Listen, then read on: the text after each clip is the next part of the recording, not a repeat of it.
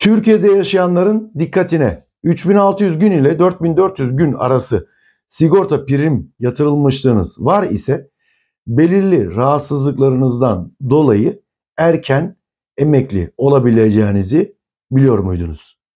Vergi indirimli erken emeklilik bunun adı.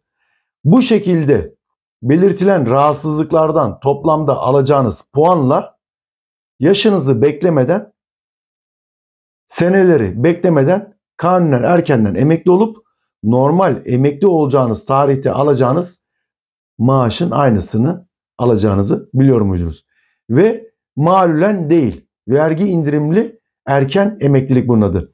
Bu konu hakkında daha da aydınlanmak istiyorsanız lütfen ilk önce kanalım Et Kemal Can Polat TV'yi takibe almayı unutmayın. Bu bir. İkincisi lütfen iyi dinleyin.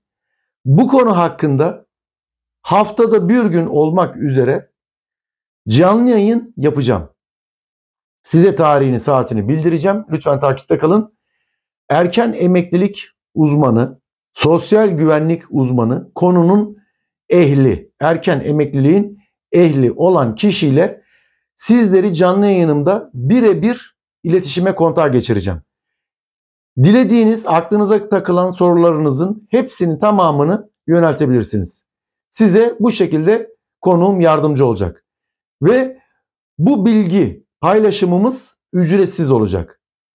Eğer kriterleri yerine getirenler olursa sosyal güvenlik uzmanımızla direkt kendiniz bağlantıya geçebilirsiniz ve size en kısa şekilde kanunen her şey resmi nasıl emekli olabilirsiniz? Hakkınız var mı? Bu kriterleri yerine getiriyor musunuz? Hepsini size birebir açıklayacak ve anında cevaplar verecek.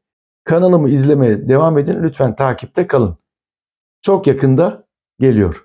Örnek olarak kalp, şeker, tansiyon, stent, anjiyo, kolesterol, yüksek tansiyon, işitme kaybı, görme kaybı, kanser, uyku apnesi, böbrek, kilo fazlalığı gibi benzeri hastalıklarınız varsa erken emekli olma hakkınız doğabilir.